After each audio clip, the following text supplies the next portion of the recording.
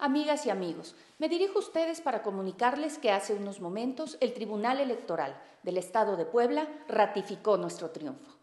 Celebro que haya concluido el proceso electoral y que se den a conocer los resultados definitivos de la elección, en donde se confirma, una vez más, la voluntad de los poblanos emitida el pasado primero de julio.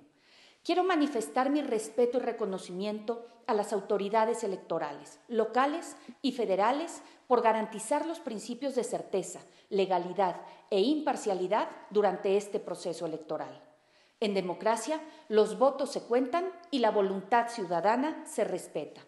En Puebla tuvimos una elección histórica que alcanzó casi el 68% de participación, en donde más de 3 millones de poblanos con una profunda vocación cívica se expresaron en las urnas.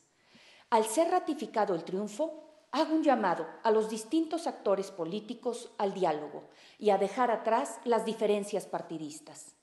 De igual forma, reitero mi compromiso con el presidente electo de México y con los distintos poderes de gobierno para trabajar en conjunto por el desarrollo de nuestro país y Estado. Puebla necesita de todos. Es tiempo de trabajar incansablemente para devolverle la seguridad a las familias poblanas.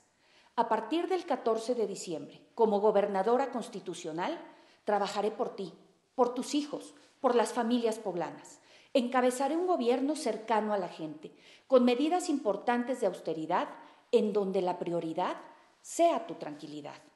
Gracias por tu confianza y apoyo. Trabajemos juntos por una Puebla con igualdad para todos.